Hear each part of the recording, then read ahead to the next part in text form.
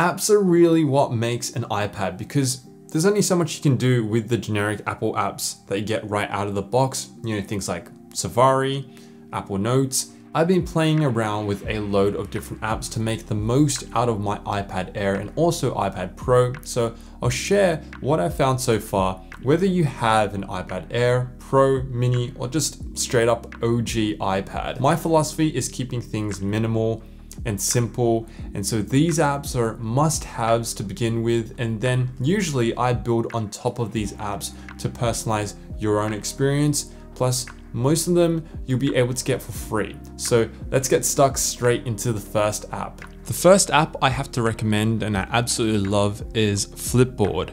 This free app collates all the best news and trending topics into this beautiful Flipboard style presentation it's a great app for just about anyone because you can customize the entire app to the topics that you love.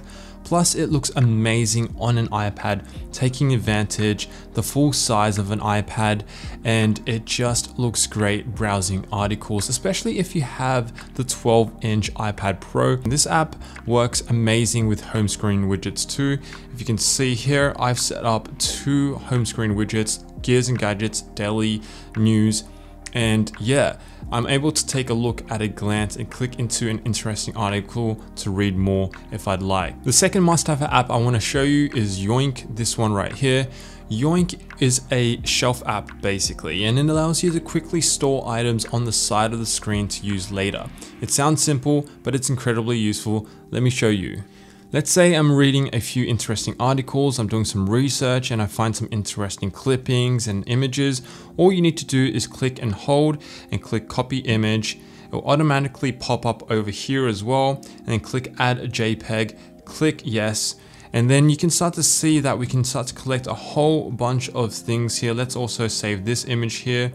Click, whoop, that's a link. You can also click and hold text. Click copy and this will also add as rich text here. So you can start to see that you can collate a whole bunch of items here instead of storing it elsewhere, which is, you know, a little bit more inconvenient. And it just collects text snippets, images, even full-size documents. It turns your iPad into a better desktop-like experience and makes it that much more convenient for almost any type of power user. So one of the main perks to an iPad is of course the fact that it's amazing to draw on when paired with an Apple Pencil. Procreate is one of the few apps that's an absolute steal at only $10. It's basically a complete art studio that's as simple or as advanced as you want it to be. It's used by creative professionals to create amazing works of art, and I also personally use it to take notes. I've tried a variety of note-taking apps, and Procreate is probably the most enjoyable when it comes to quick scribbles, sketches, and note-taking with the Apple Pencil. For those with the newer iPads with an M1 processor like this iPad Air here, this app takes advantage of the extra power you have in the new iPad and the 120Hz ProMotion displays. This one's really a no-brainer if you're willing to fork out the $10. Also for those interested or curious, the cool snap-on case was provided by today's video sponsor Moft. This iPad Snap case is the only magnetic friendly case that's also Magic Keyboard and Apple Pencil compatible.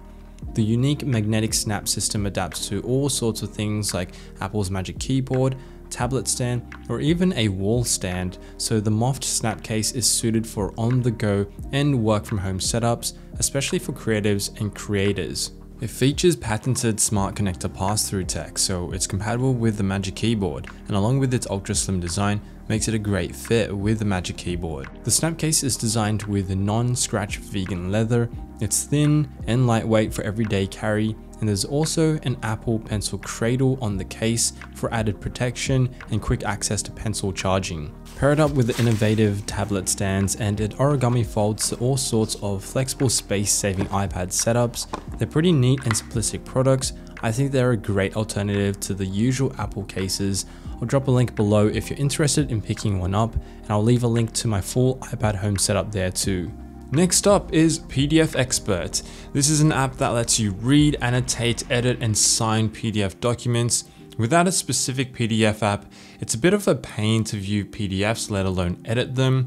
So if you're working with PDFs, which is most of us really, then PDF Expert here is an important app to have in your iPad library. You can do a range of things. You can import your PDFs. You can also, you know, go into one of the PDFs and annotate things, make notes. I use this app personally to highlight notes. Uh, for example, if I click on the highlight button here, you can literally start highlighting things. You can also edit the PDF up here. You can even fill and sign the PDF if you have legal documents and just overall read and access PDF documents that I download from the web in general.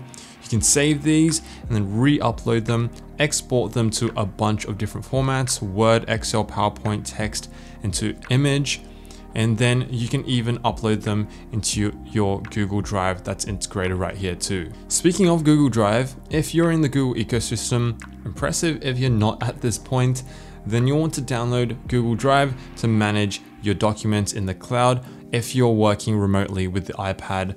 I personally use and treat uh, Google Drive as the desktop for the iPad where I store all my folders and files and downloads. If you're planning to open up Word documents or spreadsheets within Google Drive, which uh, I assume you know you will be if you're downloading Google Drive, you'll then need Google Sheets and Google Docs. And at that point, it's worth downloading the entire G workspace stack right here. Next up is a big, big iPad app for me and many others, which is Notion right here. Notion is an all-in-one app when it comes to note-taking, collaboration, to-do lists, Kanban boards, and more. And I don't know how I'd survive without it. I use Notion to organize my life, literally. And yeah, I manage everything through Notion. It's cloud-based, so when I jump back onto my laptop or desktop, then all my work is immediately updated across all the devices. It works well with other apps and integrations such as Google Drive and I'm able to embed documents directly into Notion and it then links out to various other apps and documents. Yes, there are other iPad apps that may do certain things with within Notion that much better, but I personally prefer having everything in one spot and sacrifice some benefits for simplicity if you're interested in how I've set up all of this and how I've set up Notion and multiple work uh, spaces, I've made a full video on it you can check out in the description box below. If you enjoy reading on your iPad like I do, you'll want to get an app called Instapaper. Instapaper is an app that saves pages and articles and auto formats them so they're iOS friendly while stripping away clutter. And best of all makes all of this offline and available at any time. So I can click onto any app, not, not app, click onto any article and read this at any time. And it's really nicely formatted. Once it's saved offline too, you're able to change the appearance of the article, highlight text here, and even have it narrated back to you with the text to speech function. It's super easy to use. If you go onto Google Chrome or any sort of uh, article that you're reading from, you can literally just click export and then scroll over to Instapaper and then it click it's saved. Once you go back into Instapaper, it starts loading and then when I refresh it, it's available at the top ready to be read and it is a great app to have saved so you're able to build up a library of offline content when you need it. A little similar to Instapaper, we have of course Amazon Kindle. Now Amazon Kindle is also an app for reading lovers and a must-have starter app in my opinion. The Kindle app allows you to read ebooks and sync up to your current Kindle library if you already have a Kindle. So the Kindle reader is great because it's not the same experience as a native Kindle, of course, but it is great for books that have color illustrations, for example, or if you have a more coffee table book like this one over here, or even a manga since the iPad is so much larger than Kindles. You also have access to the usual Kindle features like tracking your reading progress and the dictionary lookup and also highlighting. So this is a great must-have app on the iPad to take advantage again of the portability and the screen estate that you have. The next app is really simple but great for productivity enthusiasts. It's called Better Sleep and it's not just for sleep, it's also for focus, but it gives you access to a bunch of ambient noises, super cool ambient noises, and so you can start to play and mix up different sounds and match them. It really helps me focus when I need, you know, white sound I use this app when I need to get in the zone and focus by setting up a timer for an hour, working with the ambient noise, and then it sort of fades out when the timer is up. This app integrates seamlessly into the iPad with widgets available and native player controls too. Next is the photo editing app by Adobe, Lightroom. This app is also an absolute no-brainer for those into photography or even casual enthusiasts who enjoy touching up photos. This is a great app and a powerful one that gives you a big range of controls to tweak your photo to your liking and it also takes advantage of iPad's computing power.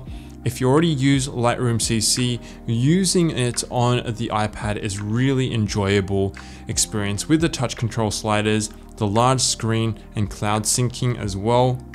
And so I just love taking the iPad to the cafe and taking my time to color grade photos I've shot on the Fuji X100V for example. With all these apps I've mentioned and all the existing ones you probably use, there's going to be a lot of login details. So the password manager of choice I use is Bitwarden and they have a native iPad app too. It gives me access to all my logins in one spot across devices and so it's pretty useful when I'm out and about with the iPad. There's also this password generator here, which is extremely useful in securing when it comes to creating new logins for new websites and securing your logins. So whenever I need to log into an app on the iPad or save a new login I've created on the iPad, Bitwarden makes it super easy.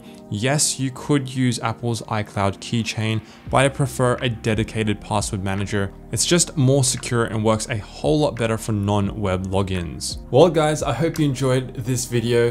I'll leave links to all the apps I've mentioned in the description box down below. These are the apps that I highly, highly recommend when starting out with a new iPad. And so go forth and start building out the rest of your apps. If there are any apps that you'd recommend, please do let me know in the comments down below. I'm always on the hunt for new app recommendations. Always love me a good app. And drop a like if this video has helped you out. Subscribe for more tech and business content and follow me on Instagram at Andrew Ethan Zeng. I'll leave useful videos on the side of the screen here if you want to binge watch. And as always, thanks for watching and I'll see you in the next video.